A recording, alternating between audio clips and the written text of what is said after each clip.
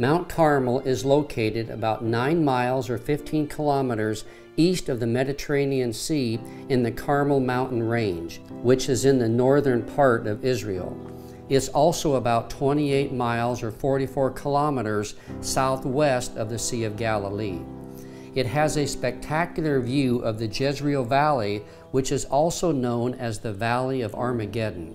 Armageddon is where part of the last battle on earth takes place at the end of the Great Tribulation period.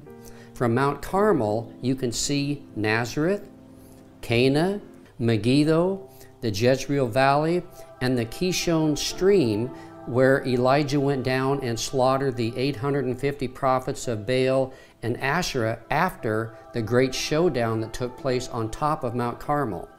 And also, you can see the Mediterranean Sea from this place.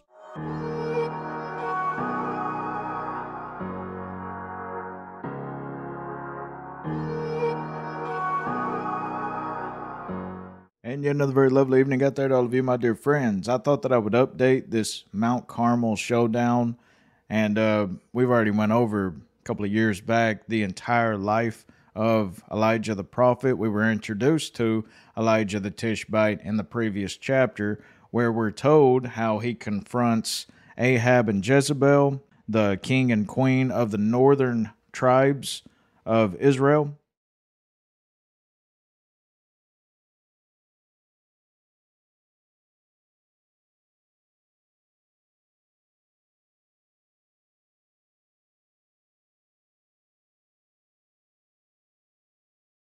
Heavy idolatry all over the place.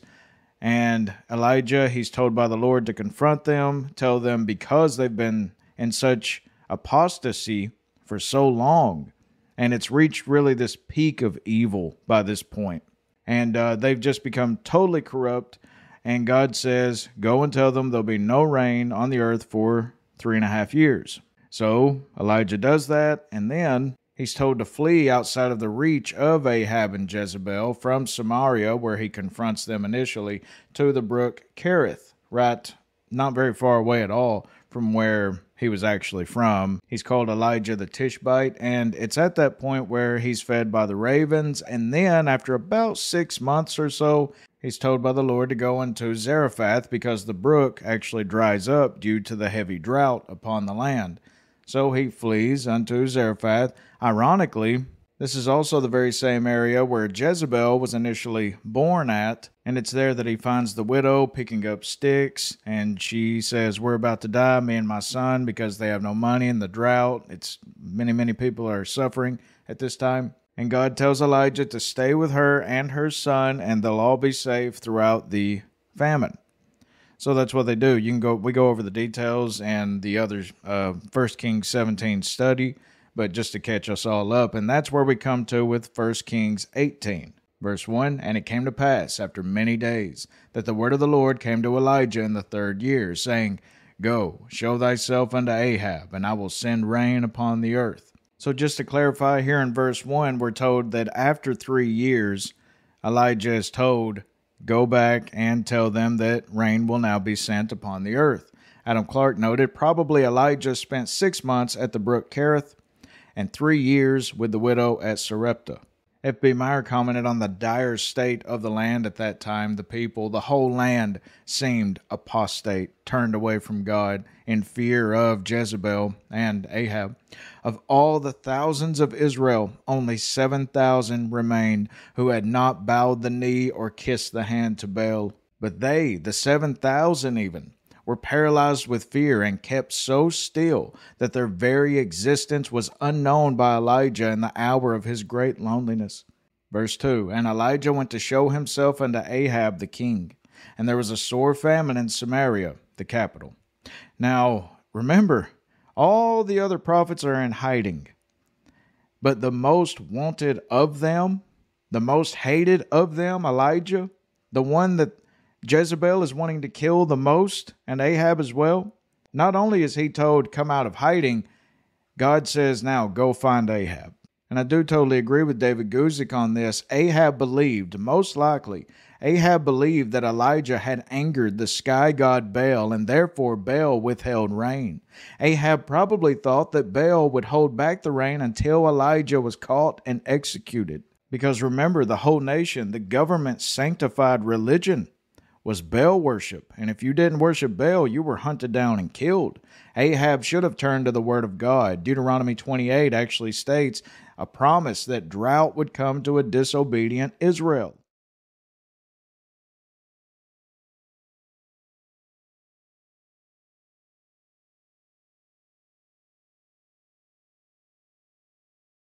So Elijah's making his way to find Ahab, verse 3 And Ahab called Obadiah, which was the governor of his house. Now Obadiah feared the Lord greatly. For it was so when Jezebel cut off the prophets of the Lord that Obadiah took a hundred prophets secretly, and hid them by fifty in a cave, and fed them with bread and water. One can only imagine how scarce bread and water both were at this time, and yet Obadiah risked much, even his very life, in order to feed these followers of God. Now, prophets, in the sense, this is a very broad term. These were not prophets like Elijah, they were people like preachers, evangelists. Verse 5 And Ahab said unto Obadiah, Go into the land, unto all fountains of water, and unto all brooks, peradventure, maybe, we may find grass to save the horses and mules alive, that we lose not all the beast. Which is truly very telling of the desperation of that time Cambridge noted, we can see the grievous necessity the land was in when the king himself goes forth on such a quest.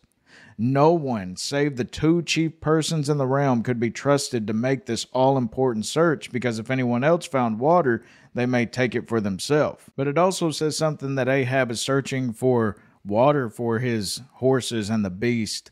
F.B. Meyer commented, We might have supposed that he would set himself to alleviate the miseries of his people, and above all, that he would have turned back to God. But no, his one thought was about the horses and mules of his stud. His only care was to save some of them alive. What selfishness is here! Mules and asses before his people, seeking for grass instead of seeking for God.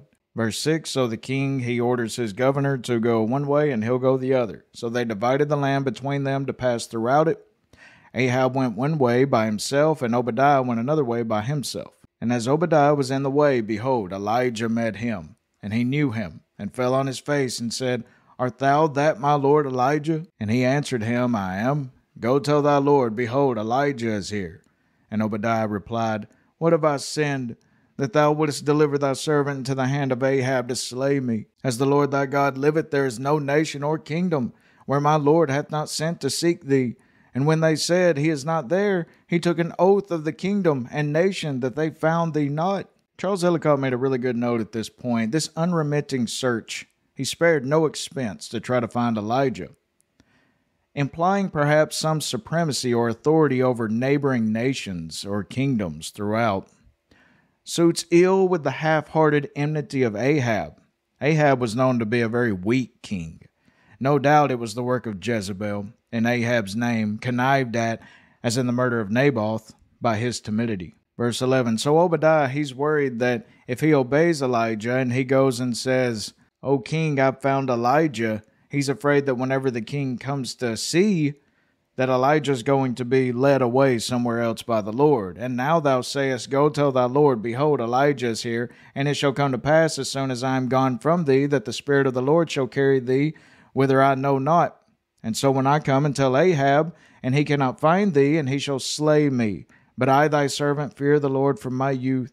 Was it not told my Lord what I did when Jezebel slew the prophets of the Lord? How I hid a hundred men of the Lord's prophets by fifty in a cave, and fed them with bread and water? And now thou sayest, Go, tell thy Lord, Behold, Elijah is here, and he shall slay me. And Elijah said, As the Lord of hosts liveth, before whom I stand, I will surely show myself unto him today.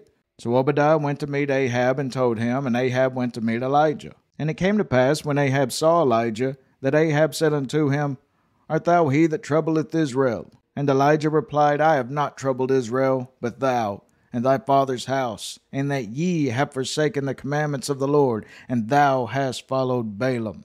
Now, notice the plural form of Baal is used right here, Baalim. That's actually very telling. The plural Baalim is used because there were many forms or aspects of Baal.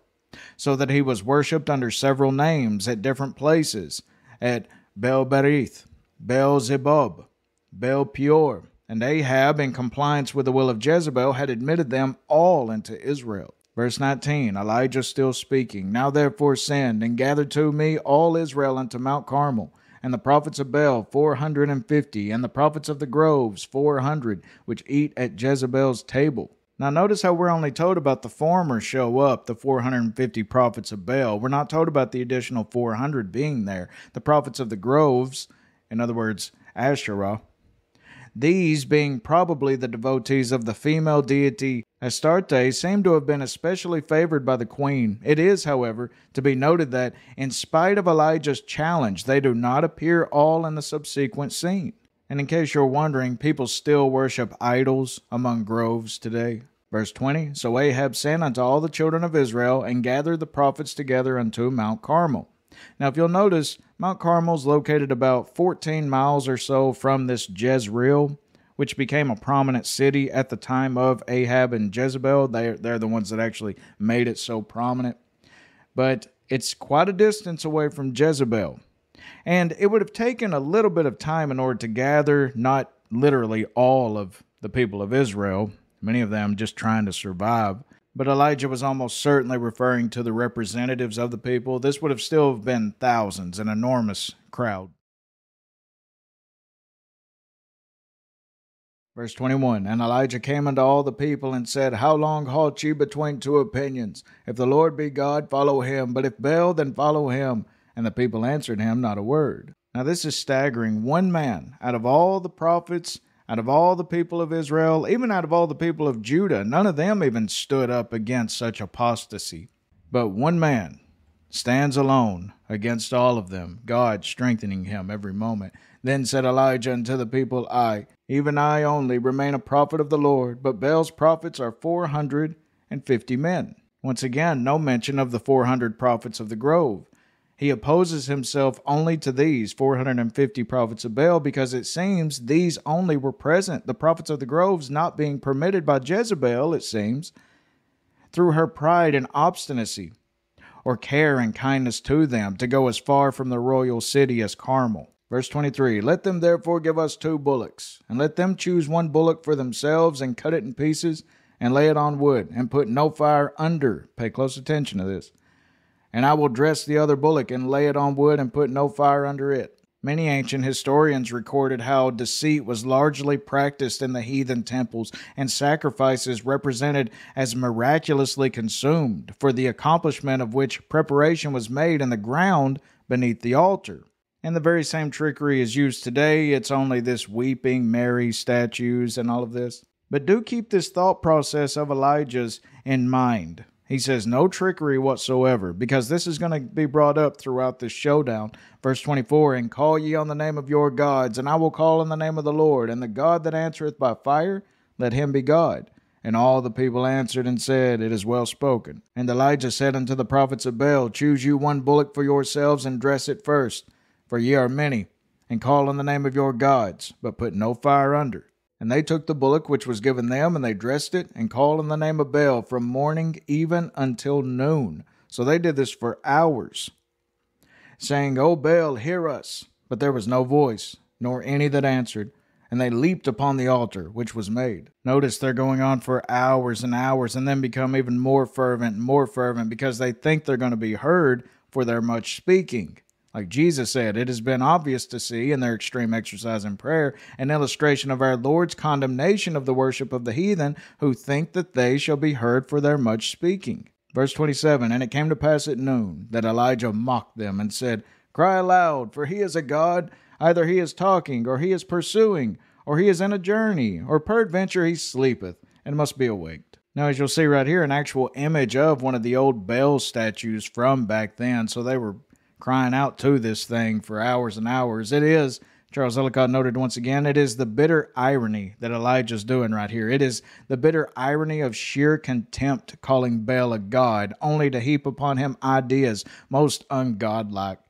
He is busy, or he is in retirement, he is far away, or in the noonday heat, he is asleep. Verse 28 Now one can only picture the scene right here because the more people that are in a frenzy, the greater the frenzy grows. It's kind of like if you see a rock concert and they start up a mosh pit and then they start going crazy and you know jumping and running all over one another. The crazier somebody gets, the crazier the other person gets.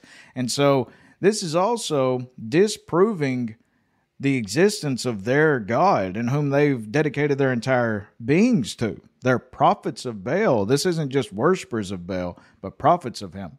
Verse 28 And they cried aloud and cut themselves after their manner with knives and lancets till the blood gushed out upon them. Now, real quick, do take notice of how they're cutting themselves.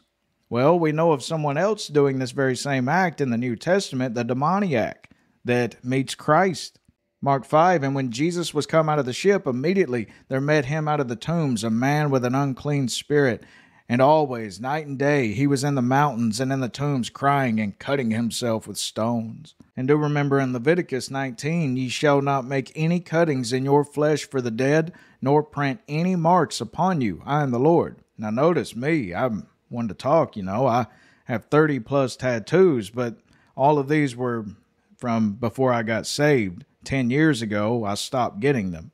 But before then, I had placed 30 plus tattoos all over my body. Verse 29 And it came to pass, when midday was past, and they prophesied until the time of the offering of the evening sacrifice, that there was neither voice, nor any to answer, nor any that regarded.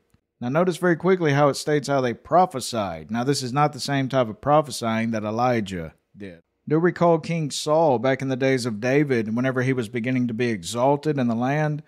1 Samuel 18, and it came to pass on the morrow that the evil spirit from God came upon Saul, and he prophesied. Saul prophesied as well, just like these pagans. In the midst of the house, and David played with his hand as at other times, and there was a javelin in Saul's hand. Once again, Ellicott noted how Saul was in a state of frenzy, unable to master himself, speaking words of which he knew not the meaning and acted like a man possessed. How often does that happen right in the midst of churches today? People speak things and no one has a clue what they're saying. It could easily be demonic voices coming out of them. And just look at how in a state of frenzy that they are. Now, this is modern day in mega churches. Now, this is not of God, my friends. Okay, let's continue. Verse 30 And Elijah said unto all the people, Come near unto me. And all the people came near unto him, and he repaired the altar of the Lord that was broken down. And Elijah took twelve stones, according to the number of the tribes of the sons of Jacob, unto whom the word of the Lord came, saying, Israel shall be thy name. And with the stones he built an altar in the name of the Lord, and he made a trench about the altar, as great as would contain two measures of seed. Now that is a big trench, my friends. And he put the wood in order and cut the bullock in pieces and laid him on the wood and said, Fill four barrels with water and pour it on the burnt sacrifice and on the wood. And he said, Do it the second time. And they did it the second time. And he said, Do it the third time. And they did it the third time. Now, in case you're wondering where this water is coming from, do remember that Mount Carmel was located near the brook Kishon as well as the sea. And we're about to find out just right here in a few seconds how in Elijah's prayer he prays to the Lord and he says, I have done all that you have told me. So it's the Lord that ordered all of these steps. But why all this water? Elijah showed no trickery could be practiced in the present case. Had there been a concealed fire under the altar, the water that was thrown on the altar must have extinguished it most effectually. And you may be thinking, well, that's unnecessary because the fire comes from heaven and strikes the altar. Yeah, but many of the people who aren't there to witness this, they would probably claim that Elijah would use some other kind of trickery in order to have completely obliterated this sacrifice, because there's going to be a huge mark in the earth. And I'll show an illustration of what I'm meaning right here, because this fire from heaven absolutely decimates every bit of this. It doesn't just light the sacrifice, it, it just absolutely annihilates every bit of what Elijah's building right here. Verse 35 And the water ran round about the altar, and he filled the trench also with water. And it came to pass at the time of the offering of the evening sacrifice that Elijah the prophet came near, and said, Lord God of Abraham, Isaac, and of Israel, let it be known this day that thou art God in Israel, and that I am thy servant, and that I have done all these things at thy word. Hear me, O Lord, hear me, that this people may know that thou art the Lord God, and that thou hast turned their heart back again.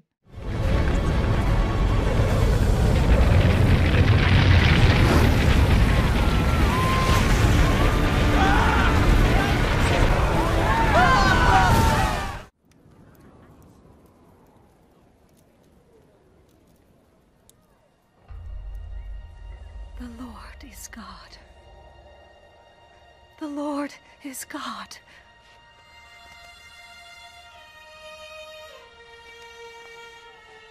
The Lord is God. Praise the Lord is God. Praise the Lord. Forgive us, Lord. Forgive us, Lord. Then the fire of the Lord fell and consumed the burnt sacrifice and the wood and the stones and the dust and licked up the water that was in the trench.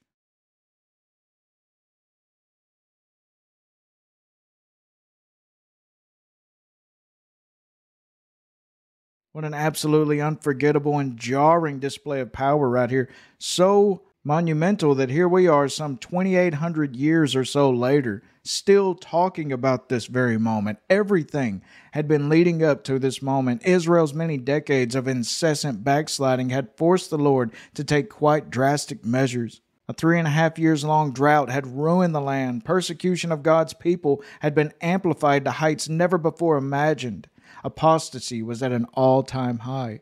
All the while, heaven seemingly remained quiet as demon worship swept the Holy Land. However, as we now read, the prolonged silence played a great part in the great revival about to commence at Mount Carmel. One can only imagine how dreadful the sight must have been, how terrifying to think of God delaying his presence among the people for so long until this single event in which the creator of the sun itself sent a sudden burst of searing fire from the sky directly into the midst of these unexpected observers. And do take careful notice, their immediate reaction, including Elijah himself, is one of utter fright, shock, and frenzy. Verse 39 And when all the people saw it, they fell on their faces, and they said, The Lord, He is the God, the Lord, He is the God. And Elijah said unto them, Take the prophets of Baal, let not one of them escape. And they took them, and Elijah brought them down to the brook Kishon, which is right below the mount, and slew them there. Now, there are many valid reasons why this execution of the false prophets of Baal needed to take place, but the very same logic which was applied to the water on the sacrifice and Elijah's public prayer to the one living God publicly to make known that this is God doing this is also applied to the slaughter of these prophets of Baal. You say, Well, I don't get that. What are you talking about? Namely, to erase any thoughts that the oncoming miraculous rain came from anyone except the Lord God. See, the rain is about to come. And these prophets of Baal are going to be done away with, so Baal is not going to take any credit for this. Everyone is going to know God not only sent the fire, but now he's about to send the rain. Verse 41 So these false prophets, they've all been executed, 450 of them. And Elijah said unto Ahab, Now it's not begun to rain yet. And Elijah said unto Ahab, Get thee up, eat and drink, for there's a sound of abundance of rain. Now, this is his prophetic sense speaking because there's not even a cloud in the sky right now. But what is the meaning behind what he's saying to Ahab? Get thee up, eat and drink, and all this. Cambridge commented it would seem as if Elijah had not yet despaired of Ahab. He hadn't totally given up on him, and was giving the king, who must have been paralyzed by the scene, the best advice for his present need after the long and tragic day. It's thought that the king had a tent nearby, and Elijah Elijah's telling him, You might want to eat and gather your strength because you're about to have to ride on that chariot 14 miles to Jezreel. That's not a very short distance, really. The words may also imply that now there was no longer any fear of want, for the rain was coming at once. Thus, they would form a fit introduction for the announcement which follows. Verse 42 So Ahab went up to eat and drink, and Elijah went up to the top of Carmel, and he cast himself down upon the earth, and put his face between his knees, and said to his servant, Go up now, look toward the sea. And he went up and looked, and said, there is nothing. And he said, Go again seven times. Now, there is a quick and important lesson to be learned right here, real quick. Charles Ellicott noted how from this delay of the answer to prayer, Elijah's example became proverbial for intensity and perseverance in supplication. If you'll remember, this very moment is mentioned in the New Testament book of James to pray through, as we say. The contrast is remarkable between the immediate answer to his earlier prayer and the long delay here. And I agree with Ellicott on how the one was for the sake of the people, the first one. The other for some lesson, perhaps of humility and patience to Elijah himself. When the answer does come, it fulfills itself speedily. The little cloud becomes all but immediately a storm, blackening the whole heavens, borne by a hurricane from the west, most likely. Verse 44 And it came to pass at the seventh time that the servant said, Behold, there ariseth a little cloud out of the sea, like a man's hand. And he said, Go up, say Ahab, Prepare thy chariot, and get thee down, that the rain stop thee not. And it came to pass in the meanwhile that the heaven was black with clouds and wind, and there was a great rain, and Ahab rode and went to Jezreel. And now notice the actions of Elijah. And the hand of the Lord was on Elijah, and he girded up his loins and ran before Ahab to the entrance of Jezreel. Now, it's not as if Elijah is trying to outrun the rain and race Ahab and try to get in front of it. No, he's actually kind of guiding Ahab, leading him, if you will, to show how ready he was to honor and serve the king, that by this humble and self denying carriage it might appear what he had done was not from envy or passion, but only from a just zeal for God's glory. That by his presence with the king and his courtiers he might animate and oblige them to proceed in the reformation of religion, and to demonstrate that he was neither ashamed of nor afraid for what he had done, but did venture himself in the midst of his own enemies. Remember, Jezebel is located at Jezreel, and yet Elijah still, that's the first place he heads. He wants a great revival to happen, for God's sake. Remember, there's still a bounty on Elijah's head.